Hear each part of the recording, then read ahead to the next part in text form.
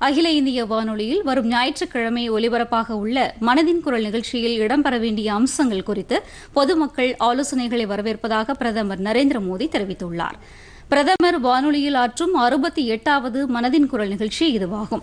வரும் முப்பதாம் தேதி காலை பதினோரு மணிக்கு பிரதமரின் இந்த உரையை நாடு முழுவதும் உள்ள அனைத்து வானொலி நிலையங்களும் அஞ்சல் செய்யும்.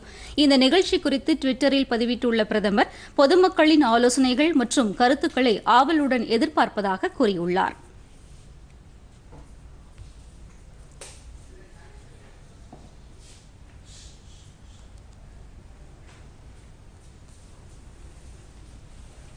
நமோ செயலி அல்லது மை கவ் இணையதளம் வாயிலாக பொதுமக்கள் கருத்துக்களை தெரிவிக்கலாம் என்றும் ஒன்று எட்டு பூஜ்ஜியம் பூஜ்ஜியம் ஒன்று ஒன்று ஏழு எட்டு பூஜ்ஜியம் பூஜ்ஜியம் என்ற கட்டணமில்லா தொலைபேசி எண்ணை தொடர்பு கொண்டு பொதுமக்கள் தங்கள் கருத்துக்களை பதிவு செய்யலாம் என்றும் அவர் தெரிவித்துள்ளார்.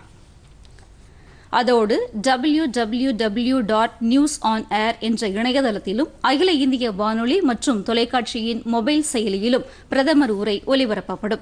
தவிர பிரதமர் அலுவலகம் பத்திரிகை தகவல் அலுவலகம் உள்ளிட்ட மத்திய தகவல் ஒலிபரப்புத்துறை அமைச்சகத்தின் அனைத்து யூ டியூப் சேனல்களிலும் இந்த நிகழ்ச்சி நேரடியாக ஒலிபரப்பு செய்யப்படுகிறது.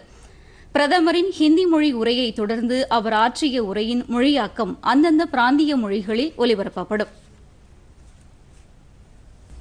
பொதிகை செய்திகளை யூடியூபில் தமிழ் நியூஸ் தூர்தர்ஷன் என்ற சேனலிலும் முகநூலில் டிடி பொதிகை நியூஸ் என்ற பக்கத்திலும் ட்விட்டரில் டிடி நியூஸ் சென்னை என்ற பக்கத்திலும் இன்ஸ்டாகிராமில் டிடி பொதிகை நியூஸ் என்ற பக்கத்திலும் காணலாம்.